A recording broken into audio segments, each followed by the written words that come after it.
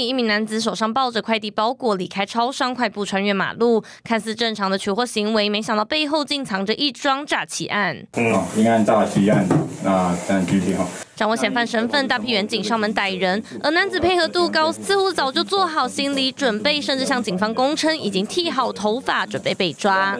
不管是网络购物还是寄送包裹，都可以在超商取货，便利快速。但就有诈骗集团看准这个店到店寄送的漏洞，假冒店员诈领包裹，将领员包裹偷天换日，手法就像电影情节。警方调查后发现，原来余姓及文姓嫌犯两人从新北市板桥区寄零元店到店包裹到台北市中正区门市，并利用城市漏洞多硬取货条码，同时从购物网站订购智慧型手机等高价商品，选择货到付款，再串通周姓大夜班店员，把零元取货条码贴在需付款包裹，在十二月二十六号凌晨三点到四点间诈领二十六件包裹，得手五十一万元。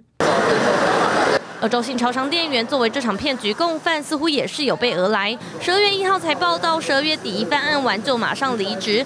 整件事情直到原包裹逾期未取，退货通知出现，店长才发现商品已经不翼而飞。将自行所列印之零元取货条码覆盖于原包裹条码上，并成功以零元取得多件包裹。随后有两名共犯将包裹变卖为不法所得。最终，文姓嫌犯被怀疑是整起案件主谋，遭到羁押。但一连串规划缜密的犯案手法，警方也怀疑幕后还有藏镜人策划指挥。接下来还要持续向上追查。金新闻吴允晨、陈生义藏报道。